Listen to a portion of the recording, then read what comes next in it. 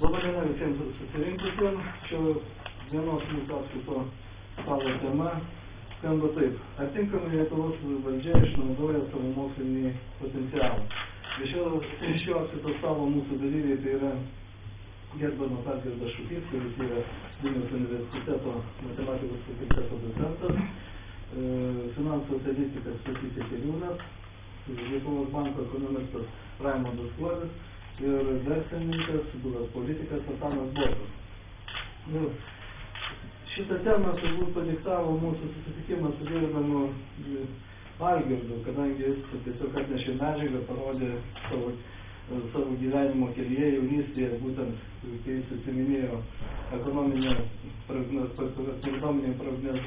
prognozavimu, pritaikant matematinius modelius, būdamas Sibirė tremty, tie modeliai pildėsi, grįžęs į nepriklausomą Lietuvą, jis būtent savo darbų, savo pastebėjimus, savo žinias bandė pateikti e, Lietuvos valdžiai, nu ir jo tie geri norai liko be atsako. Tai gal pradžiai labai trumpai, kas yra ekonominių procesų matematinis modeliavimas ir jūs būtent tos pranašystės, ką jūs kalbėjot prieš 20 metų, vis tik tai jūs atvedė į tokią Lietuvą į tokią ekonominę būseną, kurioje dabar esame mes. Taip, galima apie tai pakalbėti, bet aš manau, kad pradėjai, pradžioje, kad ir tie skaitytojai, kurie žiūrės šitą medžiagą skaitys, kad jie suprastų tokią mažytę įžangėlę duosiu. Tai va, daugelis žmonių stebina paradoksas toksai, kad va, aš jau 85 metai, ne, per mano gyvenimą technika padarė tiesiog fantastišką šuolį, progresą. Tai jeigu vaikystėje ten žmonės automobilius bėgdavo žiūrėti, dabar mes ir kosmosą turim, ir tiek kokie ryšiai, ir tiek kompiuteriai, visą kitą atsirado. Taip. Bet iš kitos pusės socialinio gyvenimo, ekonomikos įtie progresas žymiai, žymiai lėtesnis. Tai klausimas, kodėl taip? Tai vat, aš dėstau, jau užsiminėjau, ten kaip savo Sibirė, gavau specialybę, dėstau sudėtingų sistemų analizę, modeliavimą, projektavimą. Ir mums gana lengva į daugelį klausimų atrasti e, atsakymą darant eksperimentus. Reiškia, mes galim elgtis taip, kaip elgėsi fizikai, chemikai, biologai, eksperimentuoti. Juk eksperimentuoti su žmonėmis tai yra, nu, sakyčiau, neleistina, o eksperimentuoti su matematiniais modeliais galima pažaisti įvairiose situacijose ir gauti atsakymus. Tai atsakymas labai paprastas. Ar gali, galima nu, reikalauti, kad žmogus sukonstruotų televizorių, šaldytuvą ar, ar sakysime, nu, kompiuterį nesimokęs. Tiesiog suorganizavusi kompiuterių gamybos partiją. Ir dirbo žmogų išrinko, paskyrė ir dabar jisai jį konstruoja. O valstybė tai būna. Susidaro partijos ir konstruoja valstybės valdymo mechanizmų. Bet valstybės, valstybė kaip tokia, ekonomika kaip tokia, yra žymiai sudėtingiau negu kompiuteris ar televizorius. Taip, o tie žmonės, nu, bando tą tai sukurti. Taip, Tai ar galima duoti žmogui vairuoti, jeigu nemoka vairuoti mašinos, o vairuoti valstybę daug pavojingiau, o kas ją vairuoja? Tai vat aš galiu pasakyti, tai atsakymas tas, kad visur reikia mokslo. Bet kaip tik tai ir labai skaudu, kad daugelis žmonių to nesupranta. Ypatingai žmonės esantis valdžioje. Tai mes kūrėme modelį savo laiku, o nu, aš pats buvau pakviestas, tai sako šitas, bet jiems nereikia modelį, jiems reikia žmonių, kurie išdėstų jų politinius sprendimus. Tuo aš ne, nesutikau, nes tie politiniai sprendimai jokios vartus nelenda. Tai aš pasiūliau savo variantus, savo žygiai procentus, palieku jums padaryti pasižiūrėti, aš jau rodžiau jums modelį, koks buvo sukurtas. Taip, tai vat, sakyčiau, to nesupranta net ir same pačiame moksle. Ta mokslo sritį, kur aš atstovauju, Lietuvoje yra, sakyčiau, nu, dar neprijaukinta. Mes užsimame sudėtingų sistemų analizę, modeliavimą ir projektavimą.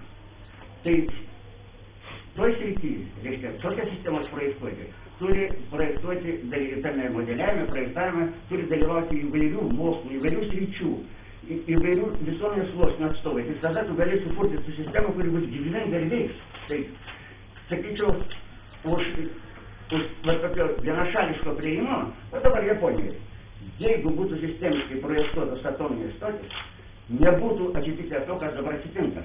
Juk japonai tai žinojo, kad yra, kad, kad žemės drebėjimai dažnai gana stiprus. Padarė stotis, taip jos plaukė, jos nestori.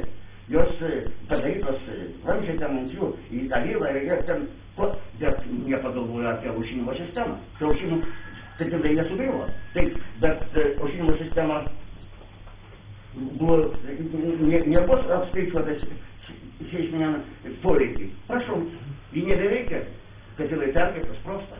Gerai, gerai, Algirdai, dėkui, bet vis tik grįžkime į Lietuvą ir grįžkime arčiau mūsų temos. Ar tai vis tik tai, gerbamas Stasivot, ta tema, ar tiksliai išnuomoja, išnaudoja valdžia savo mokslinės, mokslinės kaip specialistus, pats, pats kaip Raimondas Katulis, kaip mokslininkais ir jūsų viešoje erdvėje pasisakymai, komentarai, kažkokių priimamų valdžios politinių, ekonominių sprendimų, ekonominių, finansinių yra pakankamai kritiški. Ar jūs pastebite tokius dalykus, kad kažkas tai atsižvelgtų į jūsų, sakykime, nuomonę, iš jūsų išklausimą ir jūsų prognozes? Pirmiausia, norėčiau atsisakyti to titulo mokslininkas, tikrai nesu mokslininkas, esu, reiškia, kažkada tai prisimenu 88 metais e, laikiau kandidatinio minimumo egzaminus, bet e, tada jau vertėsi mūsų, e, reiškia, čia ekonomika ir, ir santvarka netgi. Ir taip atsitiko, kad pasukau ten, kur, ten, kur pinigai kvepia, reiškia. Nuo to laiko, reiškia, mokslas arba, arba mąstymas mokslinis yra mano tam tikras, reiškia, galbūt pomėgis, hobis, bet daugiau užsiemu analizę, apžvalgom, tų procesų, kurie vyksta, daugiau finansinių procesų, tačiau ir ne tik, kadangi, kadangi dar ir, ir, ir psichologiją kažkada tai studijavau.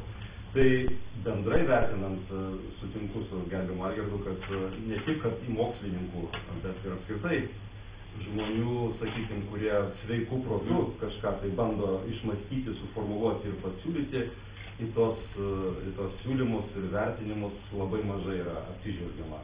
Kodėl čia galima gilintis ir lysti į žmogaus prigimti, ir į partijų prigimti, ko jos realiai siekia, ar jos siekia atstovauti kažkam, ar jos siekia valdyti valstybę, ar, ar tie žmonės daugiausia linkia išgyventi ir, ir, ir, ir prisipildyti galbūt kišenes, arba, arba kitur net nesugeba pritaikyti savęs. Tai čia galima svarstyti. Galbūt tai yra vienas iš pagrindinių priežasčių, kodėl kodėl tokio racionalesnio, objektyvesnio balso negirdima ir, ir nenorima įsiklausyti tiek į mokslininkus, tiek apskritai žmonės, kurie kažką tai, kažką tai racionalaus bando siūlyti.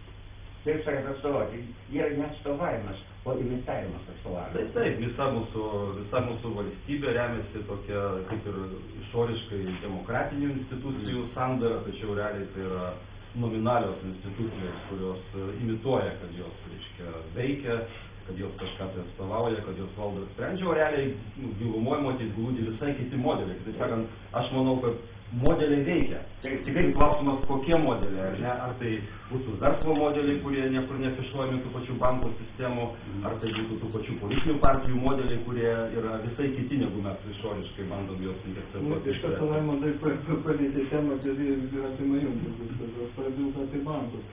Pavyzdžiui, man, jeigu jums užduočiau tą patį klausimą, ką kolegom, tik šiek tiek papildydamas, labai dažnai viešoje erdvėje pasitaiko, kad e, štai priimam kažkokį sprendimą, mes kviečiamės užsienio ekspertus, aš kaip čia yra, jie, tie žmonės yra protingesni, ar mes savų žmonių neįvertinam, Ar tai vienas iš karto man kyla klausimas, kad tie žmonės atlikę darbą, kada jiems bus sumokėta atsakomybės už padarinius tų vienokius ar kitokius jų priimtų sprendimų, jie visiškai nesako, aš čia gimęs augęs ir būdama šitos valstybės piliečių vis tik tai jaučiu atsakomybę už kažkokius tai patarimus.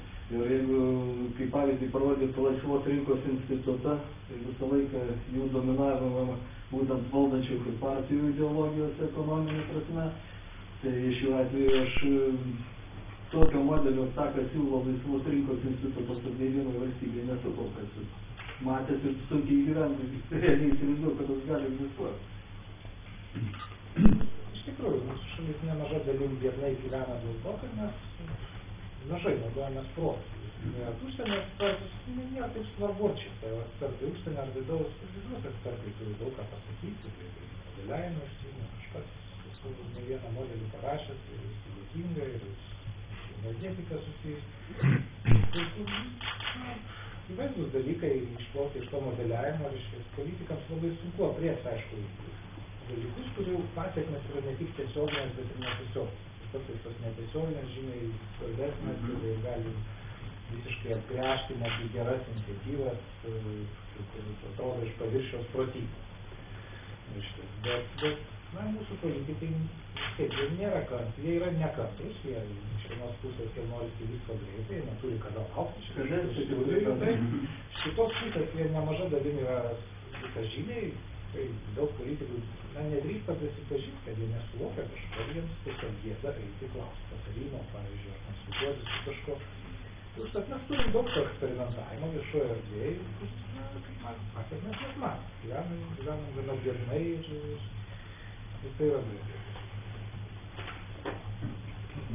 Supratau. E, Gerbiamas Antanai, pas kaip ir kolega politikas, su kuriuo teko vieną kadenciją dirbti Seime, vis tik mačiau, mačiau pati pačio asmenyje tokį žmogų kaip idealistą, kuris atėjo į valdžią tikrai ne kažką tai prisigrauti, bet kažką padaryti. Vis tik tai buvo tas pasakyta, kad nieko negaliu padaryti. Ir tai, kad ką, ką mes dabar kalbam su kolegom prie šito stalo, ar tokius modeliavimus pats kaip verslininkas taikytų būtent savo versle. Ir kur priežastys, kad vis tik tai valstybė, kuri mums, sakykime, rūpi, rūpi tos valstybės ateitis, kodėl neprasimuša, vat, apie tai, kad mes kalbam, po- po- politikoje šitie dalykai sustoja, niekam neįdomus pasidaro. Iš tikrųjų, tema yra plati labai, čia per tą valandą mes ne, ko gero nediskutuosim, bet vat, palaikant gerbiamą šūkį ir ką dabar pasakė Raimondas, kad mm, šiandien dieną politika nuo sveiko proto pagristų kažkokiu tai modeliavimu arba pagristų e, faktais kažkokiais arba mokslu yra labai toli.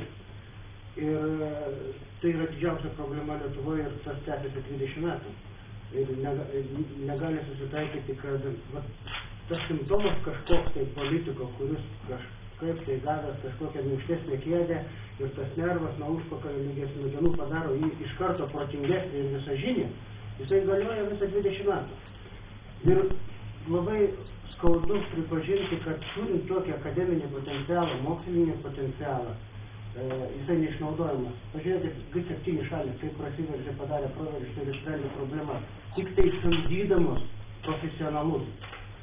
E, Mūsiškai politikai negali per save perlipti, kad už juos yra kažkas tai vietoje protingesnė, vietoje, kurie gali padaryti analizę, kurie gali sudėlioti šitai matematiniam modeliavimui bazę su visais, reiškia, pagrindiniais ir šalutiniais efektais, tą, kad galėtų įdėti pagrindinės formulės, netgi, e, reiškia, ne, nesiskaito, paraš, nu, ne, nesidomi ir nesivadovauja tais parašytais reikalais pripažintais, kurie yra, reiškia, pagrįsti moksliniais e, tyrimais, galų gale modeliavimais ir taip toliau. Be abejo, jeigu verslas e, dirbtų tokiais metodais, kaip dirba šiandieną e, vyriausybė arba įstatymų leidėjai, tai daug daugiau turėtumėm šiandien bankrutavusių įmonių, daug daugiau turėtumėm. Todėl, kad vis dėlto ver- verslas e, yra pragmatiškesnis.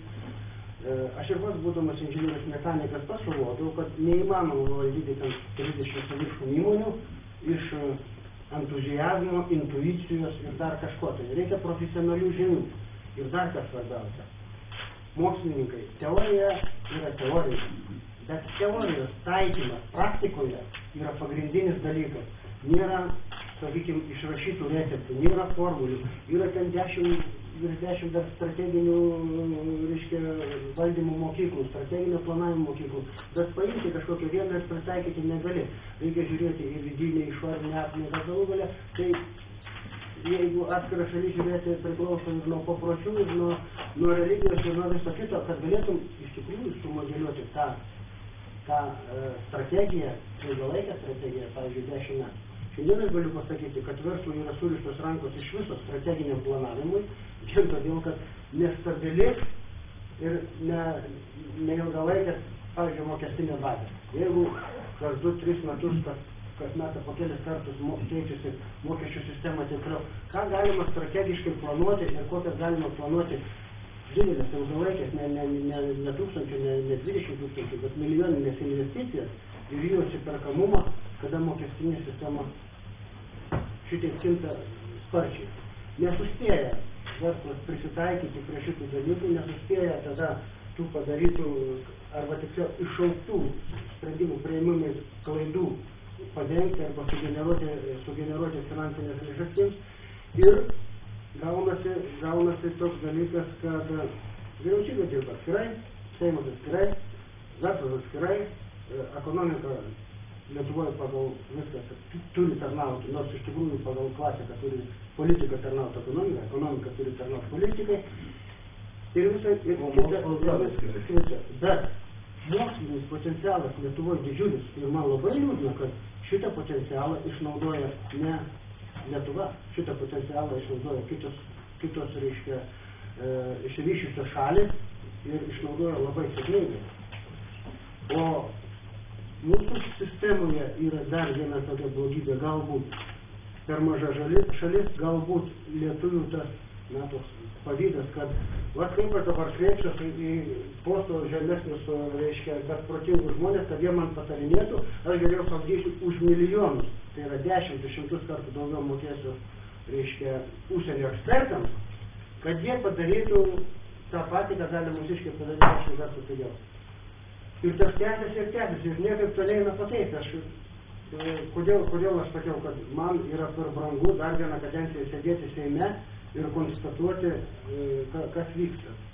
Aš e, grįžau ten, kur aš galiu daugiau pasiekti, bet noriu pasakyti, kad kol neperlipsim per save, per Lietuvos politiką neperlips per save ir šitų dalykų neišnaudos, jūs matote e, pa- pačius modelius gerbimo šūkio, kurie buvo, matau e, gerbimo e, Jakeliūno parašytoje knygoje atsiliepimus ir, ir Glavecko atsirašy- ir, ir, ir Šimonytės, reiškia, finansų ministras ir taip toliau. O jie kreipėsi į jumis, kas nor, kad paklausdavo vis dėlto, ką reikėtų daryti ir kaip reikėtų taisyti, kad iš tikrųjų tengi pateikti, pateikti dalykai, faktai ir taip toliau, kad šito išvengti. Aš galvoju, kad ne, nežinau, ką jūs užsakysite, bet aš galvoju, kad ne, todėl, kad man nereikia. Visi pripažįsta, kad veikalas geras, ir premjeras, ir buvęs, ir esama, kad gerai, kad nepolitizuotas ir, ir, ir visa kita iš viso vyriausybė turėtų būti daugiau pa, pagrįsta profesionalumu, o ne, o ne poli- politika. Arba bent jau perlipti dar save ir e, remtis e, profesionalais. Supratau, Antanai.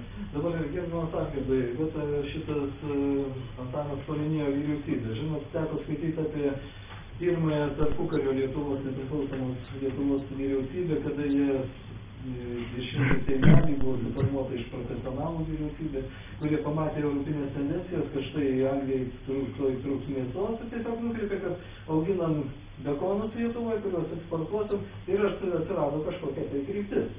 Vis tik tai atkūrus pas mus nepriklausomybę, tai va tas, kad vyko privatizavimas, kai jūs vat, daug kartų paminėjot, toksai visiškai nereikalingas, ta prasme vienas dalykas, kada mes privatizuojam kažkokį tai jos kelią, kitas, kada savo tinklus, infrastruktūrą, energetiką, ten yra, kurie jūs priešinotės, niekas, niekas nereagavo. Tai ar tai buvo vis tik tai Lietuvos kažkoks tai fenomenas, ar tai buvo komai tendencijos e, europinės, pasaulinės, kur mes atsidūrėm, kada dominavo laisvos rinkos idėjos ir mes vat, likom galutiniam rezultatą prie suskilusios geltos, viskas dabar yra.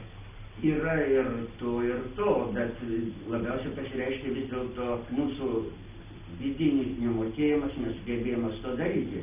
Tendencijos tokios yra, bet dabar, jeigu kalbėti apie tendencijas, tai reikėtų, aš norėčiau atsiremti į vieną Antano pastebėjimą, kad teorija ir praktika tai yra dar didelis dalykas ir dažnai tas tarpas nėra užpildomas. Tai dabartinė, kaip dabartinės mokslas, dabartinė technika leidžia dabar tvarkyti visuomenę kitoniškais jų pagrindais, bet tam reikia ruoštis, reikia paruošti kadrus.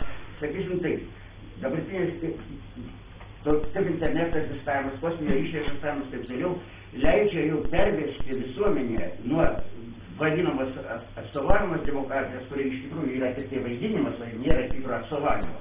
Taip, prie tiesioginės demokratijos. Taip, techniškai tai yra galima padaryti, bet reikia pakelti visuomenę. Reikia, kad visuomenė tai suprastų, nes neveiks žmogiškoji sistema, neveiks, jeigu tikslai žmonių vieni, o sistemos kiti. Reikia, kad tai būtų suderinta. Tai jeigu sistema sukurta žmonių gerovė, tikslai susiderina savaime. Bet jeigu jis sutikta nuleista iš viršaus, tai žinoma, tokia sistema gerai neveiks. Netgi ir gamtoje pati racionaliausia sistema žmogaus smegenys organizuotas ne pagal tokį principą. Tam, ten yra hierarchija, bet ji yra ne iš, ne iš viršaus. Nėra pagrindinio neurono, kuris komanduoja visais neuronais. Ten yra kinietiškų dėžučių principus organizuota. Neuronai organizuojasi saviorganizacija. Tik dėl aukščiau, aukščiau susikuria sistema, kuri veikia, bet jie, joje atstovauja kiekvienas ir į kiekvienas yra, į kiekvieną tai atsižvelgtas. Tai šitaip dabartiniu metu galima tai organizuoti, bet reikia specialistų ruošti. Ir netgi pasiūlymas tas, kad, sakysim, kad nesupranta ministrai, aš suprantu, bet kad nesupranta net mūsų mokslinė vadovybė, kad reikia tos specialybės man nepavyko Lietuvoje pramušti, kad tai būtų daryti, kad ruoštų specialistus, generalistus, kurie galėtų susikalbėti ir su ekonomistu, ir su žmonėm paprastais, ir su chemiku, ir su fiziku, ir su matematiku. Tai Tik tai tada galima priimti kompleksinius gerus sprendimus. Ir net pačią visuomenę reikia kelti. Aš atsimenu dar vaikišką tokį eilėraštį buvo. Jei prirašysim nulių, tai nulį ir tėvus, nors jų bus milijonų, turėsim tik nulius. Bet vienetą pridėję prie nulių iš pradžių turėsim milijonus tada iš nulių tų. Bet gaila, kad pasaulyje tų vienetų mažai, tarp nulių milijonų sutinkam vis tai taip. Reikia mums ruošti tuos žmonės, kurie galės kart, jeigu žmogus tas vienetas atsiplėš, kur kaip darosi, elitas, niekas to neišeis. Kildamas su, kelti turi visus.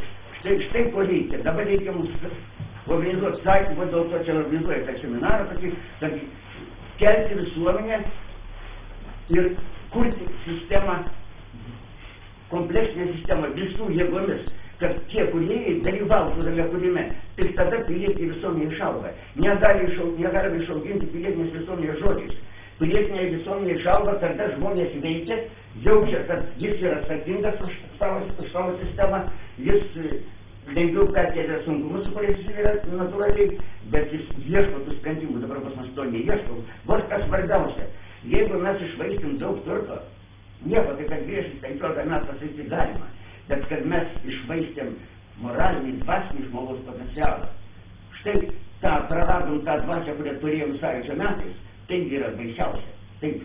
Ir dabar reikia, nežinau, ar su didelio sukreitimo, ar ko reikia, kad pakeltais. Dabar žiūrėk, bet su studentais sunku jas pakelti kad suprastų, kad kitaip mūsų visuomenė, ne tik Lietuva, pasaulis neišgyvens, jeigu mes nepereisim arba baigsis maištais, arba ekologiniam katastrofom, jeigu mes nepereisim prie kitoniško valdymo. Dabar technika 21 amžiui duoda naujas galimybės ir reikia jam ruoštis, ir reikia ruošti kadrus. O čia net mokymo priemonė, kur tai aprašyta, išspausdinti negaliu. Tai nėra lėšų. Gerbiamas Algirdai, mokslininkai, kaip pasakyti, akademinė visuomenė buvo tas e, elitas, kuris vis tik tai sukūrė sąjūdžio idėjas. O ne, ne, ne, nejaučiat, pavyzdžiui, kaip mokslininkas tam tikros kalbės, kad tam sąjūdžiui atvedus prie nepriklausomybės akademinė visuomenė kaip ir pasišalino nuo valstybės valdymo, pasitraukė. Bet... Ne tiek pasišalino, kiek jį buvo net pašalinta, ne tik akademinė visuomenė. Aš atsimenu, kada dar 89 metais svarstėme, kaip, kaip Lietuva gyvens, kai sąjunga grius. Modeliavimas rodė, grius. Tai, tai svarstam. Amžiną atvisė ekonomistas Kazis Antanavičius kalba, kad reiškia pabuvęs Švedijoje kurti sistemą panašų kaip Švedijos socializmą. Tai, nu ir, gal, ir Vakaris tada buvo asistentas. Reikia viską privatizuoti, prasidės konkurencija ir laisvos rinkos įstojų idėjas. Ir tada viskas savaime vystysis. Istorinis Justinas Pancikėjas ir sako, aš ne ekonomistas, negaliu spręsti ekonominių problemų, bet aš kaip rašytas vis dėlto laikau save psichologu šiokiu tokiu. Ir aš žinau, kad ir senais laikais dalinantis žemę, ten dalybos broliai su brolius perskalo, kartais ir už mūsų pagalbos buvo. Ar reikia dabar supriešti visuomenę, jeigu kai dar mes neturim nei, nei teismų, nei įstatymų bazės, nieko, geriau dabar viską suinventarizuokim, viską surašykim, kad ir paskui, kai sukursim valstybinę sistemą, ne tik politinė, bet ir visą struktūrą, infrastruktūrą valstybės. Tada žiūrėsim, kaip reikia dalintis ir iš viso reikia dalintis. Tuo po to Marcinkiečius tapo negeras, pasirodė po dviejų savaičių laida, kaip už jį juokės ir taip toliau. Gaunu spaudimą. Mes irgi patys. Jozaitis buvo tokiu būdu išstumtas, ir Ozolas tokiu būdu išstumtas, ir manęs dėl to neklausė. Tai aš daviau, pas, pas pasiūliau savo modelius, visą kitą. Po to buvo skambutis į universitetą, kad aš esu KGB agentas. Tai matot, tai nepasišalino, jie buvo net ir pašalinti. Ir antra, juk ta, pasidarė sąlygos, kad pragyventi